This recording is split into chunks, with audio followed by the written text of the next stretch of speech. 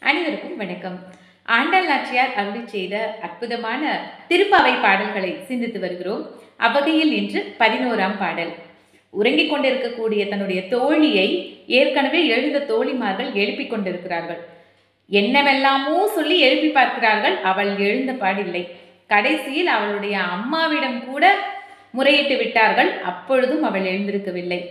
கும்பகர்ணனைப் போல் தூங்குகிறாயே என்று அவளை கேலியாக கிண்டலாக பேசியும் கூட அவள் எழுந்திருக்கவில்லை. வெளியில புள்ளினங்கள்லாம் பறக்குது சங்கு ஒலி கேக்குது. என்னென்னமோ இறைவனுடைய திருநாமத்தை எல்லாம் அடியார்கள் சொல்லிக்கிட்டு இருக்காங்க என்னென்ன சத்தம் கேட்குதோ அத்தனையும் சொல்லி எழுப்பி பார்த்தாச்சு. அப்பவும் அவள் எழுந்திருக்கல. இப்போ இந்த பாடல்லையும் அவளை எழுப்புறாங்க.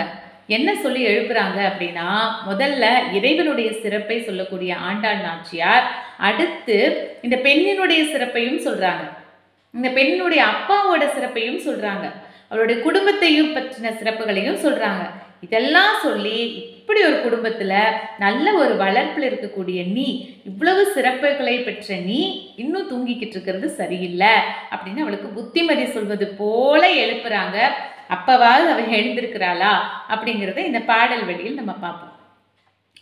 கற்று கறவை கணங்கள் பல கறந்து செற்றா திரளழிய சென்று செருகச் செய்யும் குற்றமொன்றில்லாத கோவலர்த்தம் பொற்கொடியே புற்றரவு அல்குல் புனமையிலே போதராய் சுற்றத்து தோழிமார் எல்லோரும் வந்து நின் முற்றம் புகுந்து முகில்வண்ணன் பேர் பாட சிற்றாதே பேசாதே செல்வ பெண்டாட்டி நீ. எற்றுக்கு உறங்கும் பொருளேலோர் எம்பாவாய். இது பாசுரம்.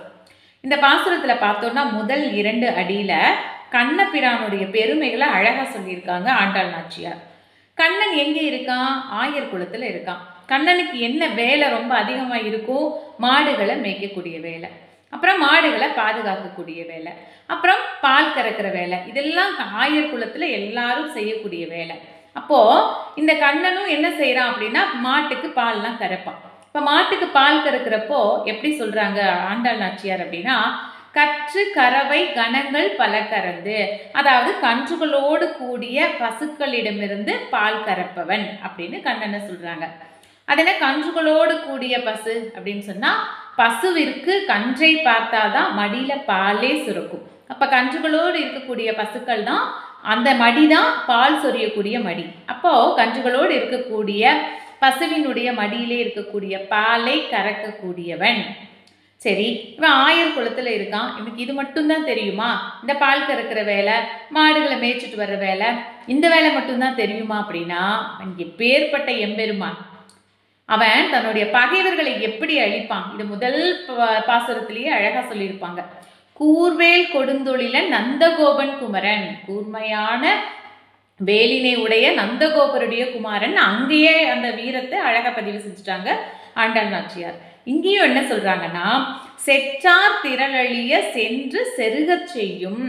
தன்னை எதிர்க்க வந்த பகைவர்களை அழித்து எதிர்த்து நின்று போராடக்கூடிய தன்மையை உடைய வீரமானவன் அப்படின்னு கண்ணனுடைய பெருமை இங்க சொல்லியிருக்காங்க. அவன் எவ்வளவு எளிமையானவன் அப்படின்னு சொல்ல வரும்போது அவன் மாடுகளிடமிருந்து பால் கறப்பவன் அப்படிங்கிற வார்த்தையை பதிவு பண்ண ஆண்டாள் நாச்சியார் அவன் எவ்வளவு வலிமையானவன் அப்படின்னு சொல்லும்போது எதிரிகளை அழிப்பவன் வெற்றி பெறுகின்றவன் அப்படின்னு சொல்றப்போ அழகா அவனுடைய வலிமையையும் சொல்றாங்க. இப்போ இந்த இரண்டு அடிகள்ல கண்ணனோட பெருமையை சொன்ன ஆண்டாள் நாச்சியார் அடுத்து அந்த பெண்ணினுடைய சிறப்பை சொல்றாங்க. குற்றம் ஒன்றில்லாத கோவலர் தம் பொற்கொடியே.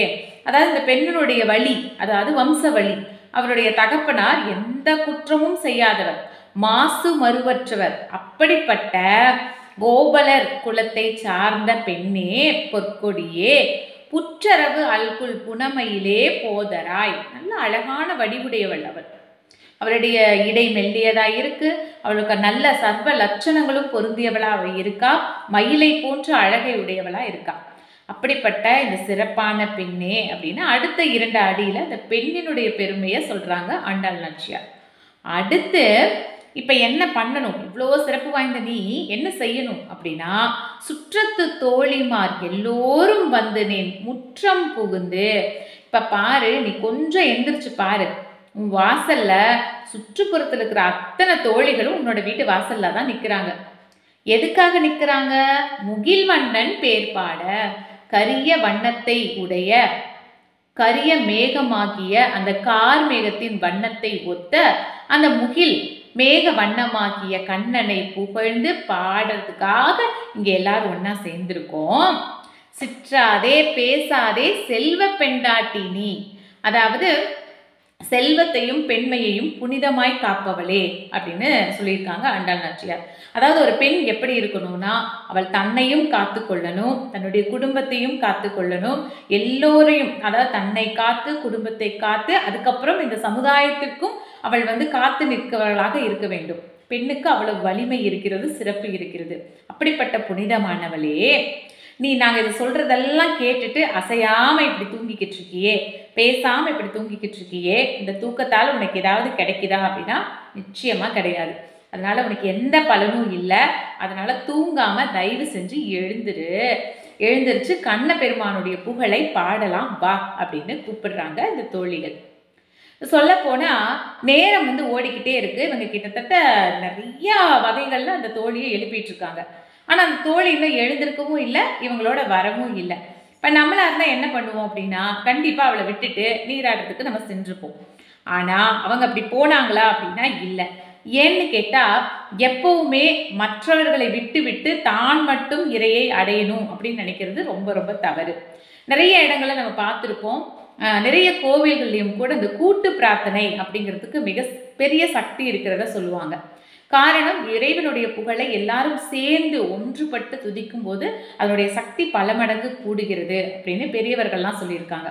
அதனால் இந்த தோழிகள் எல்லாம் ஒருத்தையை விட்டுட்டு அவளை மட்டும் விட்டுட்டு போயிடக்கூடாதே அப்படிங்கிற ஒரு எண்ணத்தில் அவளுக்காக காத்திருந்து அவளை என்னவெல்லாமோ சொல்லி எப்படியாவது அவளை அழைச்சிட்டு போயிடணும் அப்படிங்கிற ஒரு முடிவோட அவளை எழுப்பிக்கிட்டு இருக்காங்க.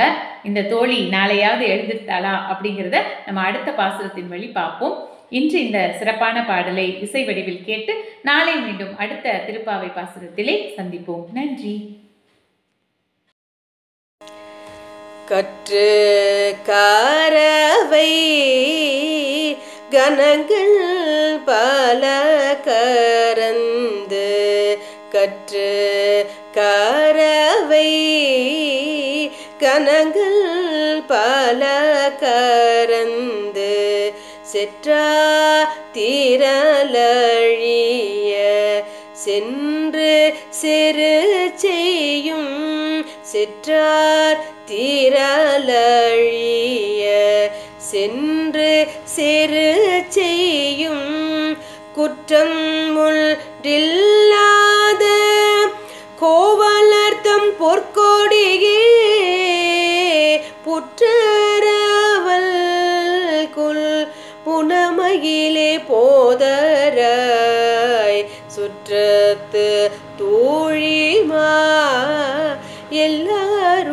வந்து நின் முற்றம் போகுந்து. முகில்வல்லன் பேர் பாட சிற்றாதே பேசாதே. செல்வ பெண்டாட்டி நீ எற்று